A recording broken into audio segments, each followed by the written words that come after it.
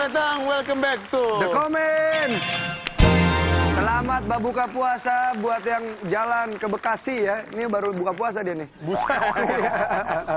Iya betul sekali. Dan selamat udah balik lagi eh, dari uh, terawehan. Iya. Udah kan kalau jam segitu udah udah selesai ya tarawih. Udah, pa- para bapak mentingin dunia kerja bukan ada terawih.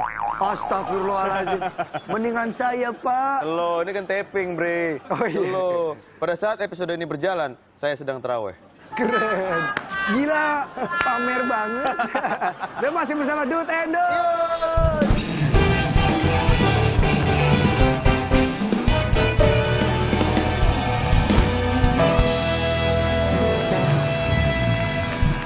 Kalau dilihat-lihat kita ini tidak seperti ini ya, tidak seperti wujud-wujud Ganindra Bimo atau Pak presenter Inus lainnya gitu. Yang keren, rupawan gitu. Tapi keren itu nggak cuma lewat penampilan, bro. Ya Iya. kan nggak cuma lewat material dan juga fisik. Ganteng itu relatif, charming itu absolut. Edan, keren. Itu. Ganteng bisa hilang. Iya. Tua udah nggak ganteng lagi. Tapi, Tapi charming itu pesona tuh nggak akan bisa hilang. Wow, char- charming itu tinggal gini pak. Karena charming itu cara mingkem. Aduh. Tapi kalau kita ngaku keren nggak pas pak. Kau yang ini sih buset. Iya. Bukan keren lagi nih mah. Subhanallah. Semlohe. Semlohe. Kita panggil. Mari kita sambit. Windy Yako. Yo. Selamat datang.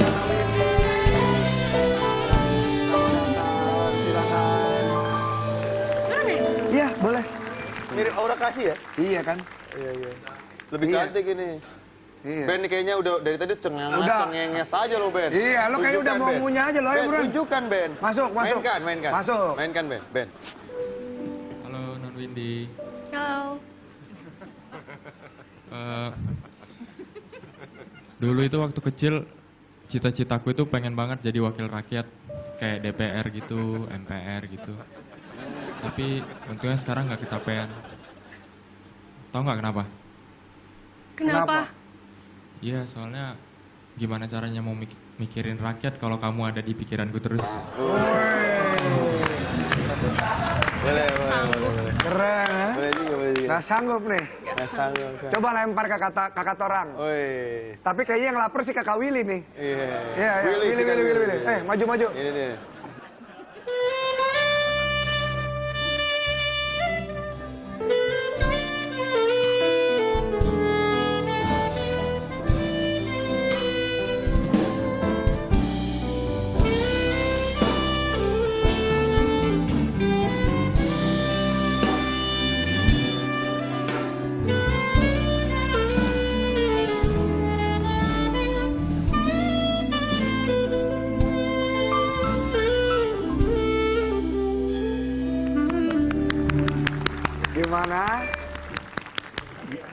Banget sih. Gue langsung, ih keringat dingin loh.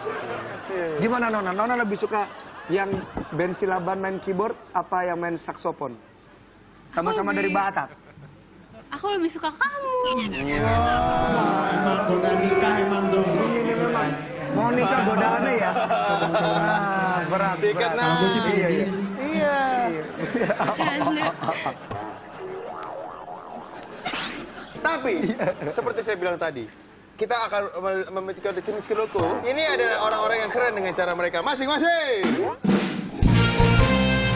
Nona yang bisa dibanggain dari Nona selain cantik, Wis. rupawan, jago acting, itu apa lagi?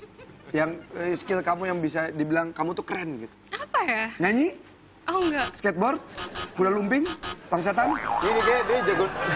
Setan. Apa ya? apa? Aku bisa bikin puisi sih. Wah, berpuisi, kasih, kasih, Puisi, puisi. kasih, kasih puisi Tapi di. puisinya kalau misalnya lagi sedih.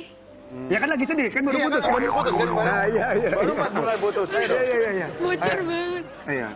Silakan, berpuisilah tentang perasaan hati kamu yang ingin move on dan membuat dia bahwa eh, lu toh nothing.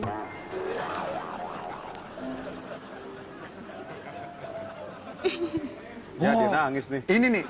Eh tepuk tangan dulu, ini judulnya Sunyi dalam Senyap. Keren. Mas Darto juga bisa puisi lagi. Nanti saya kasih tahu puisi Kasih tahu. Pak puisinya ntar ya. Wanita berikut ini keren karena punya keahlian seni yang berbeda.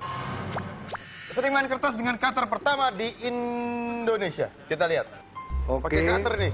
Oh dia seperti ini ya, memahat atau... Wah ini dia. Namanya Dewi Kocu. Seniman kertas dengan cutter pertama di Indonesia memulai bisnis cutteristik sejak awal 2011. Selama empat tahun terakhir ia mulai menjual karya secara komersil. Wow, keren. Emang agak-agak sulit buat saya ketika memotong bagian-bagian kecil, tetapi itulah kepuasannya. Lama-lama sudah biasa, luar biasa, keren. Seperti itu ya, mahat gitu ya, kayak buat sablon cetak gitu ya, keren loh. Kamu tahu kan karakteristik itu apa? Tipe-tipe karakteristik. Karakteristik. Karakteristik. Iya. Karakteristik itu bro, adalah ya buat naikin barang tapi pakai elektronik. Katrol listrik. Iya. Kata kata karakteristik. Susah lo kan ngoper ke dia. Oh iya benar benar. Susah dia. Tapi puisi bapak dulu dong. Saya punya puisi. Iya. Berjudul Selesai sebelum waktunya. Wah, ini kayak kisahnya dia nih jangan-jangan. Sudah. Keren. Saya juga punya puisi Iya. berjudul pertama. Pertama. Nanti ya, setelah yang Oke, satu oke, ini. oke. Ini- Ini adalah eh, anak kecil dengan eh, kekerenannya yang cuma dia yang bisa lah. Coba kita lihat ya. Bocah 8 tahun asal Palestina jadi jurnalis termuda di tepi barat. Coba kita lihat ya. Jana Tamimi, bocah perempuan Palestina berusia 8 tahun di desa Nabi Saleh, tepi barat, membuat berita laporan tentang pendudukan Israel melalui telepon pintar miliknya. Dia merekam video konflik antara penduduk di desanya dengan pasukan Israel dan mengunggahnya ke internet. Dia membuat berita tentang demo warga desanya melawan pendudukan Israel selepas sholat Jumat. Nah, itu dia. Berani itu anak ya? Berani. Soalnya kan anak kecil kalau dia dia apa-apain kan yang salah yang tua gitu. Itu luar biasa ya berani gitu. Kamu ada cita-cita nggak? Kan kamu kan kuliah di Akademi Sekretaris. Kamu pengen punya cita-cita jadi apa sih sebenarnya? Sebenarnya sih pengen jadi pengacara Wah, Pengacara. pengacara. Apa perdata pidana? pidana. Uh, berani berarti. Coba misalnya Mas Darto dihukum vonis. Vonis Mas Darto. Iya, coba gimana? Kamu punya hukuman apa buat saya? Wih. Hukum tembak mati sih kayaknya. Hukum tembak mati. Kalau selingkuh. Kalau selingkuh tembak mati. Tapi pertanyaan kalau selingkuh tembak mati, emang mantan yang kemarin ditembak mati nggak? Oh. Oke, kita lihat selanjutnya. Eh puisi saya gimana? Oh, pertama. Pertama. Siap ya? Iya. Habis yang satu ini ya. Siap. Yang ini keren di bidang kuliner. Bapak ini keren dan kreatif. Kita lihat. Indahnya lukisan krim barista ini pada kopi latte buatannya. Kita lihat videonya. Wah. Barista berbasis di Vegas, La Maison Salisbury. Asik ini ya. bagus kreativitasnya. Dia Bukan yang menggunakan Gitu ya. espresso, dia menggunakan pewarna makanan. Dibikinnya Oh. dengan dikukus susu, kemudian ditanamkan dengan pewarna makanan sebelum dituangkan busa ke dalam cangkir. Artistik kan? Ya udah cuma dia bikin ini doang nih, daun doang nih Mas ini. Tapi lumayan gitu. Keren ya jadinya. Tetapi sayang sekali ini tidak bisa diminum karena beracun. Jadi dia minum. Enggak lah.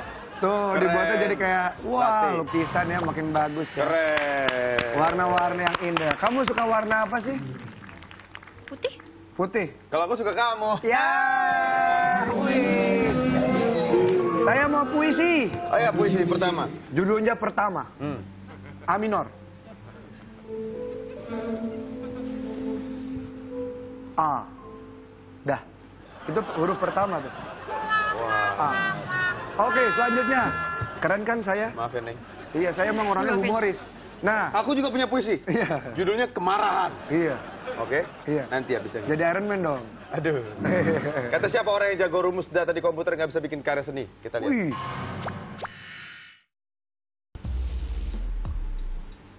Pakai apa ya? Hah? Wih, pakai itu pakai Excel. Pakai Excel serius. Oke. Gimana caranya pakai Excel sih? Excelnya Excel terus kan? Aduh. Wih, bisa derok. bikin ginian ya. Oh, ini mat gembok ini. Aduh. Jagoan di daerahnya. Lah gimana sih caranya? Buset. Buset. Itu karakter di ini, karakter di GTA, GTA. GTA 5. Di Excel itu. Oh, bikin pakai Excel. Keren. Keren nggak sayang? Keren.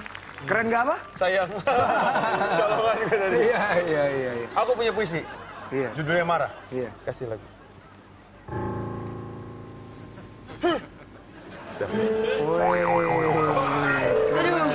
Ini Kalian kan yang punya puisi lagi, lo punya puisi apa? Nah, buat, buat, buat dia. Aku punya puisi buat kamu kan baru apa namanya patah hati kan. Oke. Judulnya adalah rapuh. Apa? Iya.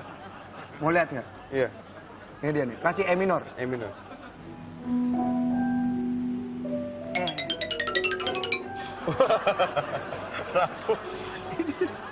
Tulangnya rapuh dia. Rapuh. Iya. Porosis. Iya, iya. Ini puisi ekspresionis. Iya, iya. Kamu dong bikin puisi Kamu yang nanti lebih bagus bikin puisi dong. ya? Iya. Puisi aku Iya. mahal sih. Wih. Mahal. Mahal. Bisa, Bisa, bisa. bisa. Kita lihat Apalagi ya. lagi patah hati kan. Kata siapa yang keren cuma manusia, hewan ini juga bisa keren. Apa yang dilakukan anjing di bandara ini tak bisa kamu percaya? Dia Masa sih? pipis. Kita lihat. Ini ngembaliin koper. Jadi Oh, ini kamu udah lihat ini? emang dia bagian dari maskapai terkenal di Belanda, KLM Airlines atau Koninklijke Luchtvaart Maatschappij. di Royal Dutch Airlines ya. Anjing jenis Beagle ini memang punya kemampuan yang bisa diandalkan untuk membantu kru pesawat lainnya dalam bertugas. Yaitu menemukan barang yang tertinggal. Oh. Tuh. Kalau kamu, berarti kalau ketemu sama guguk itu, guguk itu nggak ngambilin kamu apa-apa ya? Soalnya nggak ada perasaan yang tertinggal lagi kan buat mantan kamu? Nggak ada lah, udah move on. Eh, kalau guguk itu ketemu dia, guguk itu ngembaliin dia ke aku. Wih. Tapi dia ragu kan? Ah nggak jadi gue balikin lagi deh. Coba puisi dong. Puisi.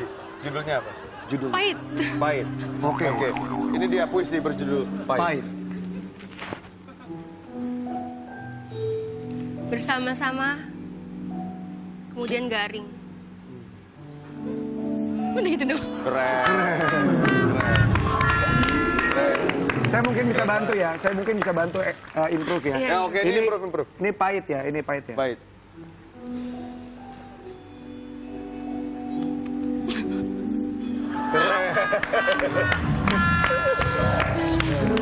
Ah, kita ketemu di segmen selanjutnya aja. Ada komen.